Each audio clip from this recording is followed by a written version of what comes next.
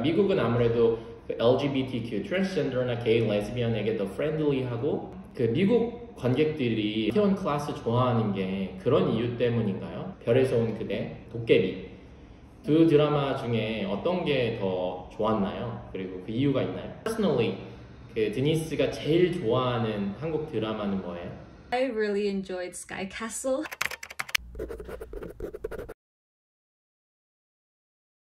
먼저 일단 영어로 어, 자기소개를 먼저 해주시고 So, um, hi, I'm Denise Kim. I'm a 20 year old Korean American. I'm currently a third year junior college student at University of California, Riverside. favorite 드라마로 이태원 클래스 얘기한 게 굉장히 저한테 interesting한데 그러니까 이태원 클래스가 조금 그 다른 한국 드라마랑 좀 다른 점이 거기에 이제 아프리칸 그 캐릭터가 있고 그 다음에 그 캐릭터가 겪는 레이시즘 한국 내에서의 레이시즘 얘기를 하고 또 거기에 트랜스젠더 캐릭터가 있잖아요.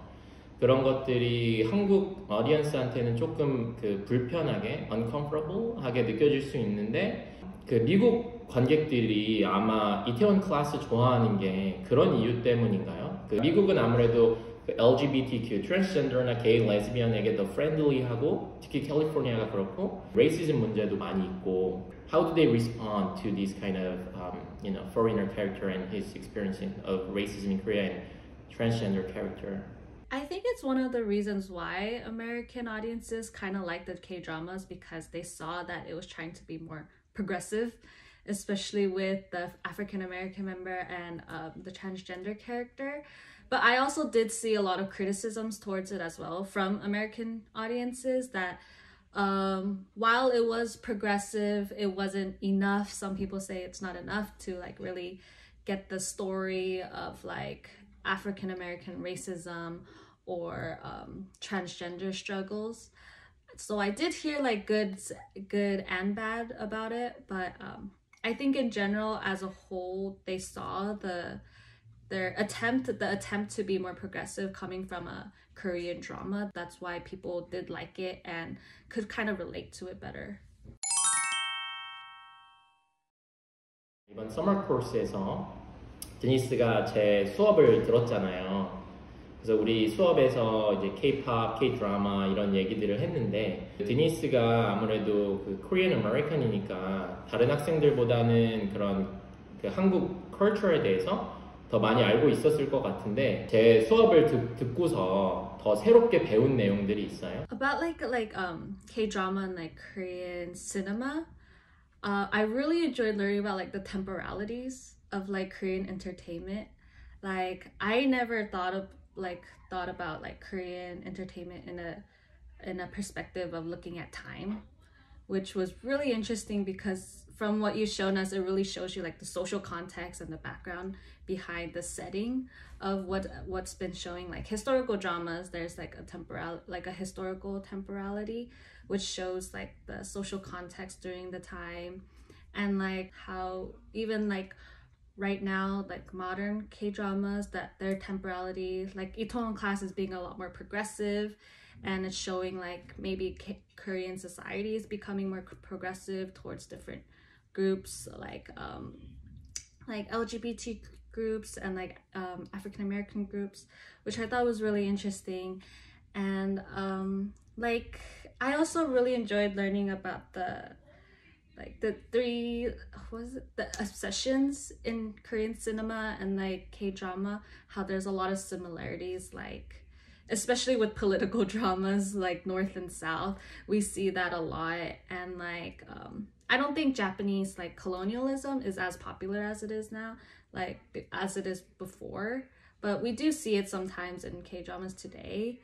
And also nationalism of course.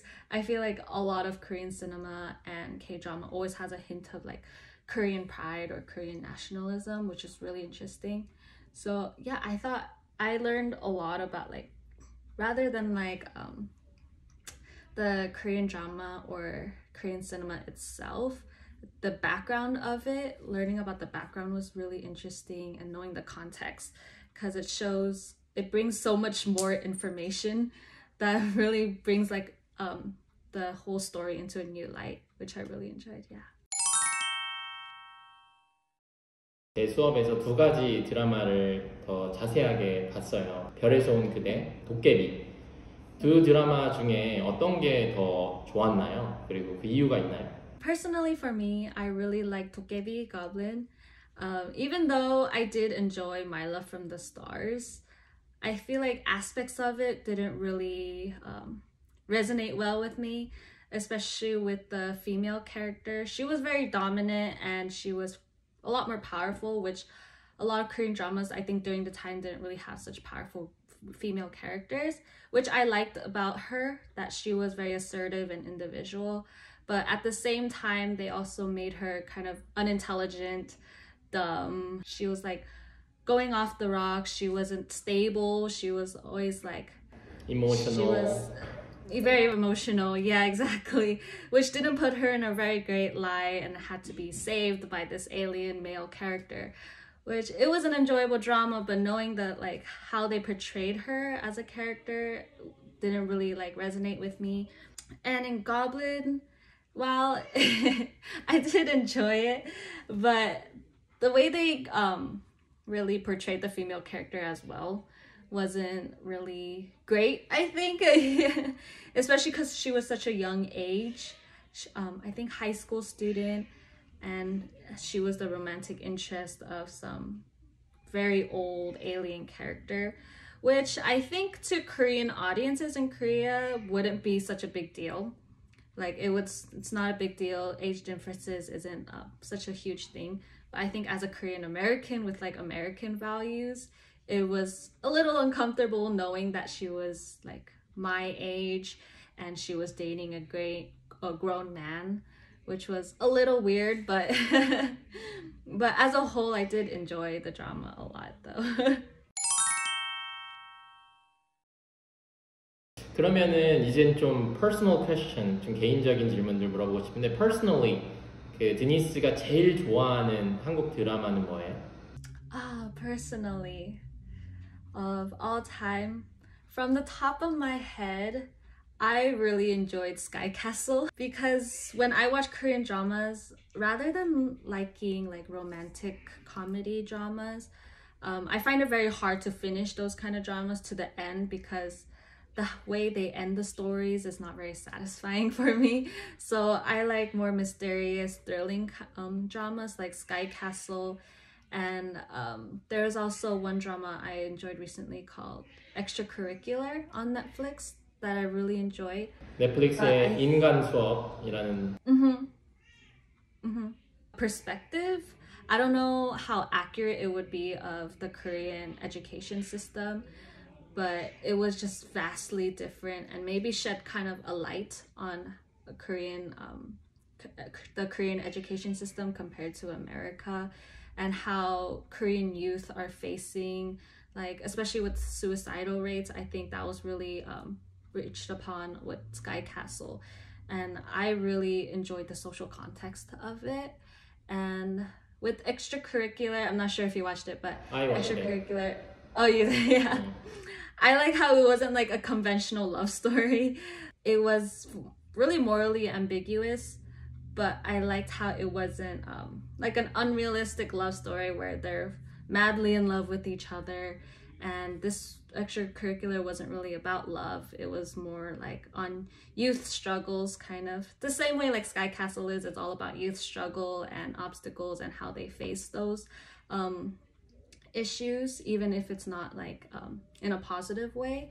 I think it really um, yeah, I really like the social context of them. 고블린이나 아니면 My Love from the Stars 같은 경우에는 조금 science fiction fantasy, 그러니까 외계인이랑 사랑하고 이런 Goblin도 어쨌든 supernatural, 그러니까 초현실적인 캐릭터가 나오는데 그 넷플릭스의 인간 수업이나 스카이 캐슬 같은 경우에는 조금 더 realistic한데 그런 비현실적인 사랑이나 로맨틱 코미디나 그런 거 없이 좀 thrilling, 그러니까 스릴러 장르에다가 미스터리 장르에다 그런 것들이 더 좋았다, 와닿았다 그런 얘기네요. 한국 영화 중에 좋아하는 감독 영화? The most recent I watched was again from Netflix because Netflix has always been coming out with so many new Korean dramas and movies.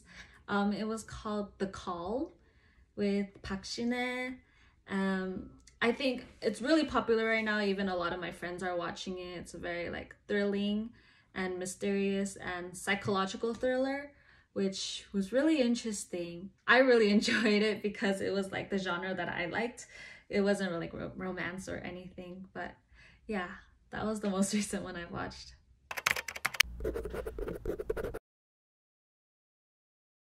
그러면은 마지막 질문으로 전반적으로 이 K-pop, K-culture 그런 거에 대해서 어떻게 좀 드는 생각들, 좀 wrapping up thought 이런 것들이 있어요? So coming from my perspective, because I think my perspective is very different because I'm Korean American and my family is Korean and my um, my parents especially are very prideful of Korea and like Korean success.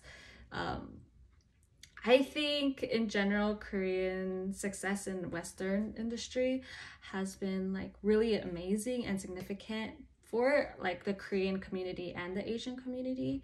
I feel like to Western audiences or um, non-Asian people, they don't really see how big of a deal it is, that how successful it is. But I think what um, Korean entertainment has really allowed for is like bringing more awareness to Korean culture and Asian culture as a whole and like um, cultural values and culture itself, especially with K-pop. I feel like tourism has been like skyrocketing not now but before it was but tourism um, and just general interest in different cultures i think because i feel like people who like k-pop they started liking the Korean culture and wanted to know more about it and the language, but it doesn't really stop there. It like lets people to know want to know even more about different cultures as well, maybe like Chinese or like Vietnamese or any other language as um so I feel like Korean success isn't exclusively Korean, as I said. It really brings um, everything as a whole, as a community. I don't know what else to say.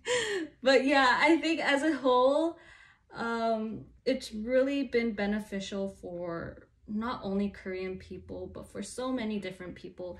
And it's really allowing for ethnic minorities to have a breakthrough in Western industries. Because we obviously see a lot more Korean people in Western Western films, especially we see we always see the inclusion of like Asian people now, at least like one character, or um, and I think that's such a big breakthrough compared to what it has before. And I think it'll only become like get it'll only become larger and larger as years go by, which I think is amazing. great, great. Um, so 오늘 너무 인터뷰 고마웠고 되게 저도 되게 재밌었어요.